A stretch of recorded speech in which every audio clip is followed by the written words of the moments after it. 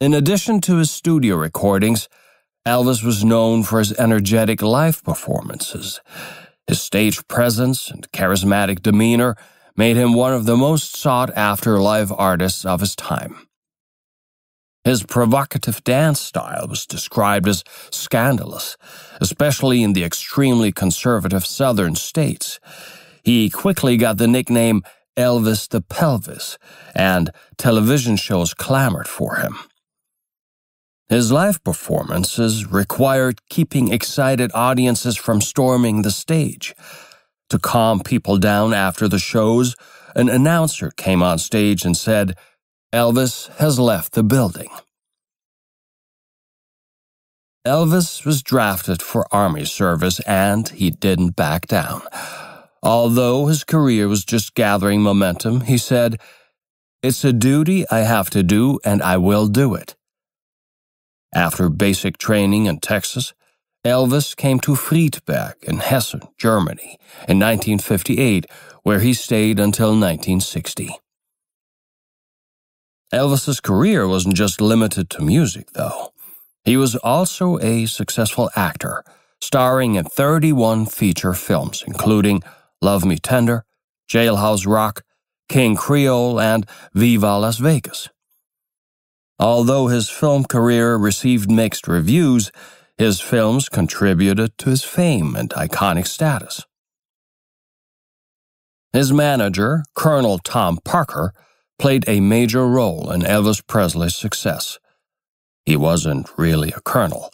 He wasn't even born in America. He was Dutch, and his real name was Andreas Cornelius van Kuyk but he was extremely enterprising and helped Elvis and himself to earn an incredible amount of money.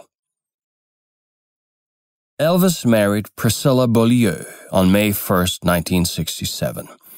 The couple had one daughter, Lisa Marie Presley, who was born on February 1, 1968, and who has since sadly passed away. The marriage with Priscilla ended in divorce in 1973. In 1968, after his career had stalled, Elvis made his first television appearance in eight years.